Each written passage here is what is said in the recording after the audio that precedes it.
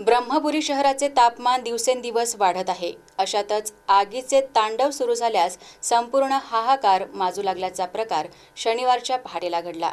देलनवाडी स्थित bank of बडोद्याच्या बँकेला लागून असलेल्या ए टी एम रूमला आग लागल्याने काही काळासाठी तारांबळ उडाली होती.